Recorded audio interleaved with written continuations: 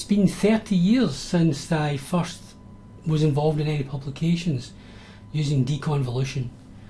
And about a year ago, maybe slightly longer, I made a video about deconvolution using the parallel spectral deconvolution plugin for ImageJ.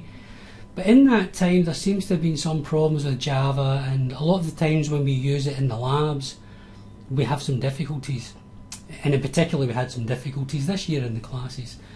So I thought for this year we would move to try the Deconvolution Lab, Deconvolution Lab version 2 which only came out, I think, in 2017.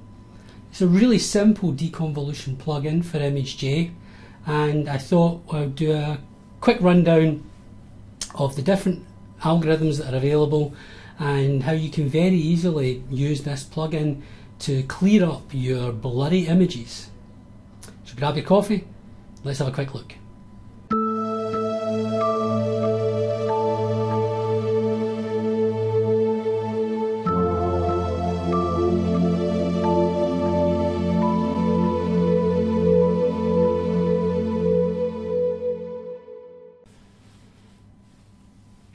Okay, so we'll I'll go through this quickly because this is a monster plugin and it would take ages to go through everything.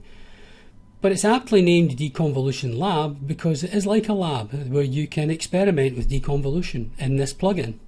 So I've got a dataset loaded, uh, it's a piece of blood vessel, no surprise, um, but it's too big because deconvolution takes a lot of processing and so we kind of want to use smaller data sets so I'm going to go selection specify uh, let's do let's do a little tiny data set shall we yeah 128 by 128 so yeah relatively relatively small data set uh, just gonna just check it's got some interesting stuff. That's all fine. I will crop that. Okay. Uh, make it a little bit bigger. Okay. A very small data set, but it has interesting features. It has some stringy stuff, elastin. It's got some more stringy stuff, like the external elastic lamina. It's got some smooth muscle cells, which are difficult to see. And we've got some holes in the internal elastic lamina, which are really important for vascular function. And we'll see whether or not Deconvolution Lab can help us to see some of this stuff in a little bit more detail.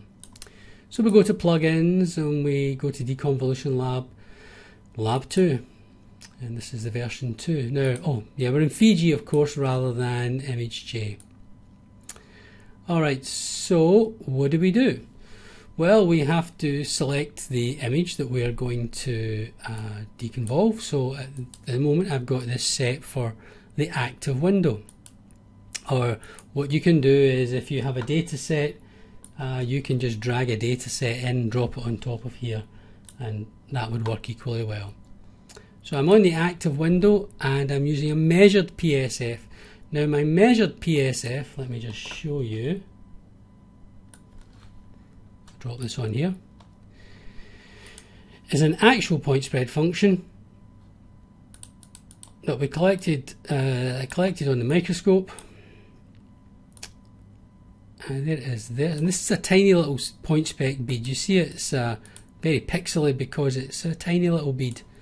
And if I show you the orthogonal sections, then you'll see it has that characteristic uh, shape of a point spread function of a bead which is elongated and unfortunately not symmetrical. I have other videos on point spread functions um, which you could watch. So that's what we're going to use as our point spread function to help us to deconvolve this data set. Now we have a whole bunch of different algorithms that we can choose from. Uh, they all use Fourier transforms. So all of these deconvolutions are done in the Fourier domain, and that can cause artifacts uh, like ringing of the image, images, and particularly some problems around the edges of, of images. Some of these filters uh, have are iterative processes and some of them are non-iterative. So like this regularization inverse filter is non-iterative. All that you've got is a, a regularization parameter which you could think of as kind of like a smoothing algorithm. Um, let's set it quite low and let's just run, make sure I've got my active image, click on my active image here. Um, let's run it, see what we get. Oh, that was quick, wasn't it? Uh, oh, so I should show you. This is the window that pops up. Just a little bit out of the screen grab area. So obviously this is really not not the filter for me, not for this particular data set. Well, let's try something that I know works kind of reasonably well, an iterative constrained Tikhonov uh, Miller. Common um, type of deconvolution. I'm going for 25 iterations here only for speed. Uh, I would possibly sometimes go for 100 or 150, but the more iterations that you run through, then the more noise sometimes you can get in the in the image. I'll turn the regularization down just a little, yeah, down low. Again, this is all to taste and depending on your own particular data set. Let me just select that as the active image and let's just run it. I'll bring this in here so you can see the speed. Actually, 25 was quite quick. I could probably go, could maybe do 100. So let's look at these holes now you see there, was particularly nice, you notice here, these three little holes here and this little tiny one there. Really difficult to see them in this data set. You can get an idea here, so, so that's really nice. So the Tikhonov Miller is very good for that smooth structure with holes. For the smooth muscle cells, well, taking away a lot of the fuzz. Um, yeah, it's not, not too bad. For the elastic lamina, smoothed it out a bit. Um, it's maybe not as sharp, but that might that might threshold and segment a little bit better. So if you were wanting to make an isosurface model of, of these data sets, then that Tikhonov Miller would quite good. Uh, that was 25 iterations. Let's just uh, let's just go 100 since that was quite quick. Now let's see how that looks. Oops. Apologies.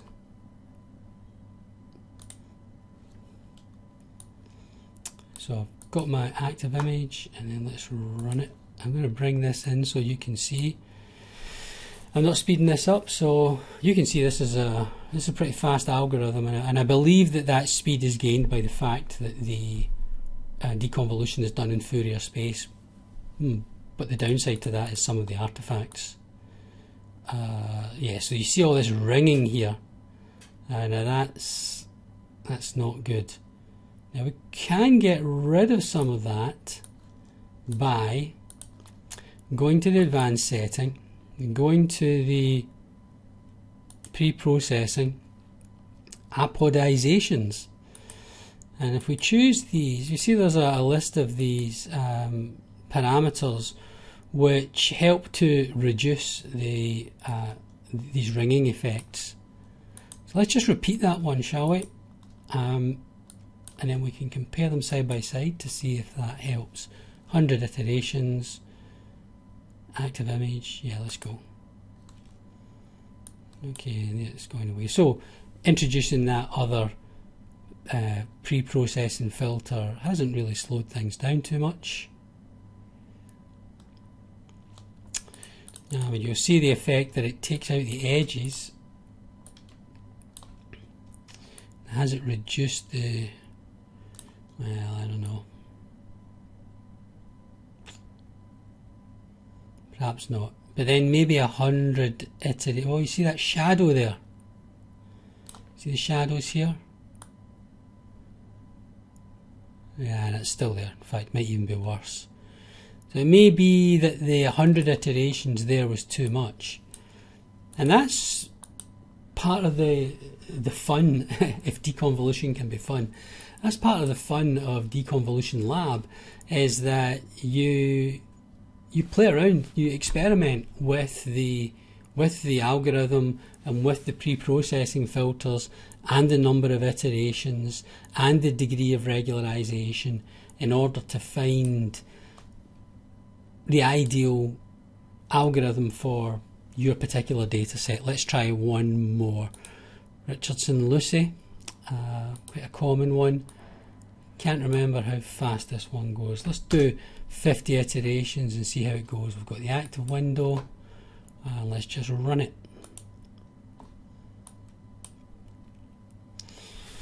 Well, it's not too bad.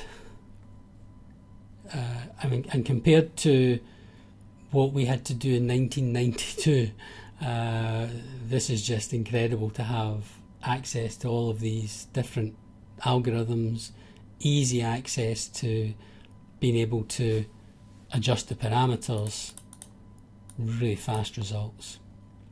So let's see, our holes in the lamina, mm, probably not as good as the Tikhonov. Uh, smooth muscle cells, uh, too bad. Ah, you know, you can see this ring around here is because I still have these on. I would maybe have switched these off. Let me just do la one last one. I'll just run that one again. Get a new one. Oh, so you know what? Stop. I'm not sure that I selected the image. I'm going to make that the active image and then run it. yeah, this stuff used to take absolutely ages, and all of the images were on like four images on a disk, and the disks had to be loaded in, and huge, huge amount of time taken.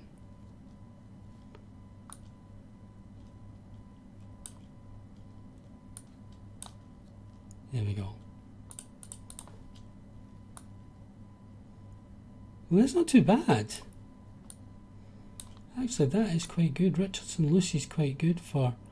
Yeah, you start to see some detail here. Uh, it's cleaned that up quite nicely. Uh, it's not too bad there.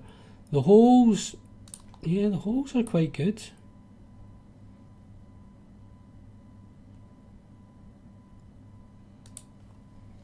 Yeah, so I would say that out of this little experiment, which was very quick and um, probably Richardson Lucy looks quite good overall for that particular data set and that would segment much much nicer threshold and segment much much nicer than than this one. Okay I wanted to keep this down to around about 10 minutes or no more than 10 minutes. Uh, hopefully that gives you an idea of how very very easy it is to bring a data set into Deconvolution Lab choose an algorithm, choose your iterations, your degree of regularization, and any um, pre-processing that you might need in order to to remove the uh, the the, uh, the aberrations that you get as a result of the Fourier transform method of of deconvolving. I hope some of that made sense, or at least has um, interested you in using Deconvolution Lab. I think it's great. I would highly recommend that you go and read the paper which is here. It's really well um, described. Has some of the algorithms in there as well. If you're if you're interested in the nuts and bolts of how these um, deconvolution tools actually work. And I hope you enjoyed that, and I'll see you next time. And remember, do the thumbs up, and like, and subscribe if you want me to do some more videos like this. And I'll see you next time.